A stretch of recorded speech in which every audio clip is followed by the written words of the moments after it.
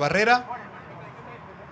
Y habrá saque de manos para reencuentro. Y ahora en el partido, nueve minutos, Sí. como impact con uno menos a la heroica. Ahora sí van a tener que hacer la heroica. Le decía lo que es temperamental Ogonaga.